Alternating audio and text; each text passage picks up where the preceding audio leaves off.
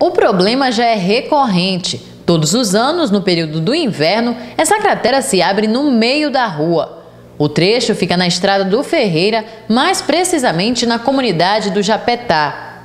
De acordo com moradores da área, a cada chuva forte, um pedaço da via vai embora com o aterro que cede. Com o buraco aberto, o risco é iminente para quem passa no local. É, fica muito difícil, porque tem muito, os buracos aí, pode quebrar o carro. É, é muito difícil para a gente mesmo, isso é muito arriscado isso aí. Eu acho que precisa arrumar essa, essa buraqueira aí. No trecho, apenas um veículo por vez pode passar. O outro necessariamente precisa esperar, pois a via ficou estreita, dificultando a trafegabilidade principalmente de motoristas.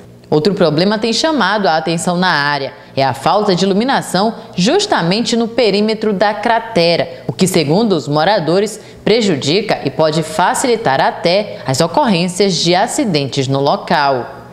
Quem precisa trafegar pela estrada do Ferreira chama a atenção da Secretaria de Infraestrutura do município de Bragança e pede que reparos sejam feitos o mais breve possível.